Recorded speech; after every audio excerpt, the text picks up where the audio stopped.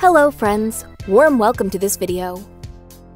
How to reset Windows 7 administrator password. Welcome to our tutorial video on how to reset the Windows 7 administrator password. We'll walk you through the steps to reset it and get you back into your computer. You can use bootable USB or CD to reset the password of your computer. You'll need to change the boot order in the BIOS so that your computer boots from the USB or CD instead of the hard drive. But we will see a simple way to change the admin password by using the control panel. Follow the steps as shown in this video. Open the control panel window.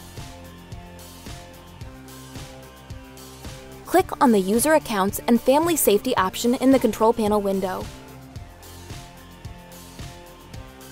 Under the User Accounts option, click on the Change Your Windows Password. You will find the username profile of the administrator. Click on the Change Your Password link. Type your current admin password in the first password box. Type your new admin password in the second password box. Type the new password again that you want to use in the Confirm New Password box. Click on the Change Password button. This will reset your admin password. Now you can log off and try to log in with a newly set password. We hope you found it helpful and informative. Please do not forget to like this video. Make sure to subscribe to this channel for more upcoming tech support videos.